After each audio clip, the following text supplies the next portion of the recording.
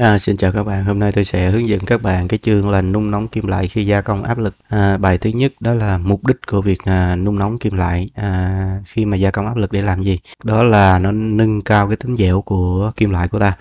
Tức là gì cái um, chi tiết mình á, mình gia công mình uh, dập hoặc là mình uh, rèn ra cái chi tiết của mình mà nó kích thước nó tương đối lớn á ha.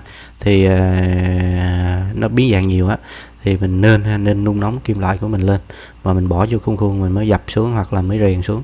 Đó, thì khi nung nóng đó nó làm cho cái tính dẻo của kim loại mình ha nó dẻo ra nó mềm ra đó.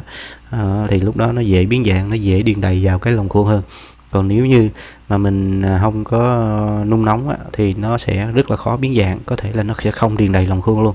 Hoặc là gì nó khó biến dạng dẫn đến là gì? Khi mình à, cái khuôn mình làm việc nó sẽ dễ bị nứt ha khi cái chi tiết xuống nó dập xuống cái nứt luôn nứt khuôn luôn. Đó. cái thứ hai là dễ tạo hình kim loại. À, có lẽ ví dụ như các bạn thấy những cái ông thợ rèn không? Người ta bỏ cái à, thành sắt to vô trong ờ, lò người ta nung nung đỏ lên người ta rồi người ta lôi ra người ta đem ra người ta mới đập ha. Thì lúc đó nó à, rất là dễ biến dạng và dễ tạo hình ha. Người ta có thể đập ra hình cái rửa cái dao hình cái ờ, xà beng đồ vân vân ha. Rồi đối với à, dập mà dập khuôn người ta có thể dập ra cái loại bánh răng nè rồi các cái tay dơ nè vân vân rất là nhiều kiểu. Thì nó dễ tạo hình hơn giúp mình nó mềm ra giúp, giúp dễ tạo hình hơn. Cái um, mục đích thứ ba đó là giảm khả năng biến cứng của kim loại đó, thì khi mà mình nung nó dẻo ra rồi á, thì à, sẽ giúp cho kim loại của mình à, nó sẽ à, bớt biến cứng đi ha, bớt biến cứng sau khi dập rồi bớt biến cứng đi. À, thì đây là ba cái mục đích chính ba mục đích chính mà khi mà nung nóng người ta cần à, khi mà gia công áp lực người ta cần nung nóng kim loại là vậy. Bây giờ ta qua cái à, bài à, thứ hai đó là khi mình nung nóng kim loại lên đó, thì nó xảy ra những cái hiện tượng gì?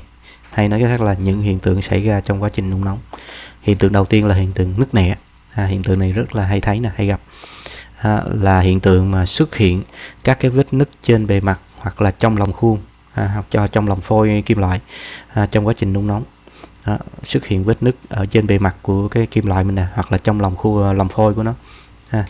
À, thì như chúng ta đã biết rồi nếu mà cái chi tiết ta ha, mình gia công mà nó xuất hiện cái vết nứt ha, là à, không tốt chính những cái vết nứt đó nó sẽ làm cho chi tiết của mình sau này khi làm việc ha, dưới tác động của lực ngoại lực ha, nó va đập đó, thì nó sẽ dễ bị nứt gãy vỡ ha, dẫn đến là chi tiết mình sẽ bị phá hỏng đó. cho nên là gì? Ha mình tránh cái cái cái cái, cái um, vết nứt này đi ha. Tránh làm xuất hiện các cái vết nứt trên các bề mặt hoặc là trong lòng của các chi tiết của mình. À à, cái hiện tượng nước nẻ này á, là gì? À, cũng xảy ra là khi mà mình kết thúc gia công ở cái nhiệt độ thấp nó cũng gây nứt ha. Tức là gì? Khi mình à, ví dụ mình dập dập ừ, gần xong rồi á mà mình để chứ nó nguội quá mình dập tiếp á nó nguội quá dập tiếp thì nó dễ bị gọi là nhiệt độ thấp đó, nó dễ bị nứt ha dễ bị nứt. Thì khi nó nứt thì nó làm cho cái um, biến cứng bề mặt kim loại mình ha. Cái này cũng không tốt trong quá trình mà uh, dập hoặc là ừ, ừ, gia công áp lực cho nên người ta cũng cố gắng hạn chế rồi để khắc phục cái à, hiện tượng nứt này á, thì người ta làm bằng cách là à, khi nung ở giai đoạn nhiệt độ thấp á, tức là nhiệt độ nó đang ừ, à, mới bật lò đồ lên á, thì phải nung nung chậm nung từ từ. À, lúc đó là gì? Chi tiết mình nó hấp thụ nhiệt vô hấp thụ nhiệt vô nó nóng từ từ và nó, nó nhiệt độ lên từ từ. Với ví dụ như mình nung mình nung nung gắt quá nung mạnh quá nhiệt à, mạnh quá vô thì gì?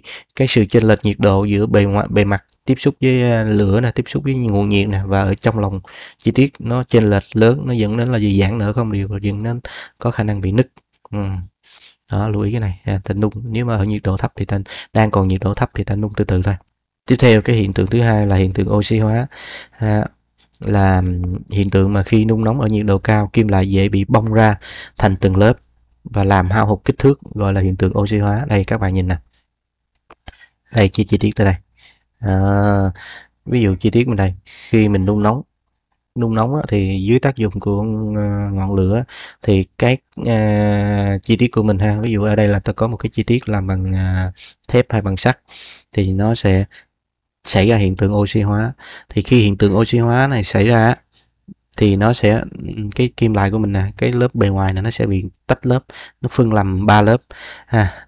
Đó là ừ, lớp uh, Fe2O3 nè đó nó nằm ở ngoài cùng. Là cái đường gạch màu xanh xanh này nè. Đó, là lớp FE3 4 là nằm ở giữa và lớp FeO là nằm ở trong cùng.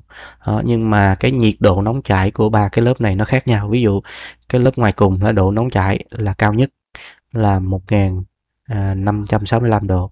Đó, lớp ngoài cùng mà nóng chảy cao nhất nha. Rồi lớp kế tiếp là lớp Fe3O4 là 1527 độ. Và lớp trong cùng lớp FeO nè. Cái FeO này nhiệt độ nóng chảy nó lại thấp nó có khoảng 1377 độ thôi.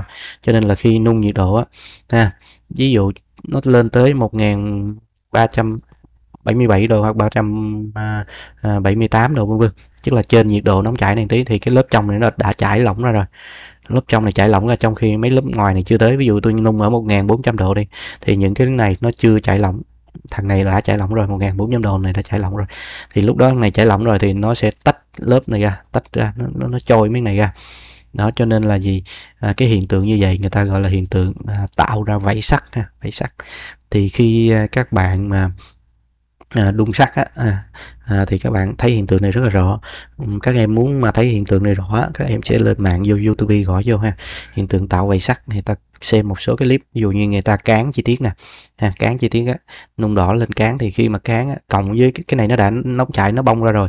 Cộng với lực kéo của con lăn cán nữa thì nó sẽ thấy những cái lớp bong ra bong ra.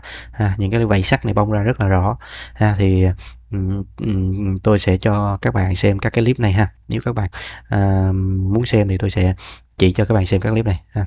ở trên YouTube rất là nhiều đó như vậy là tôi đã hướng dẫn các bạn xong cái uh, chương số 8 đó là nung nóng kim loại gây gia công áp lực. Xin cảm ơn các bạn đã chú ý theo dõi. Xin chào tạm biệt và hẹn gặp lại các bạn ở các clip sau.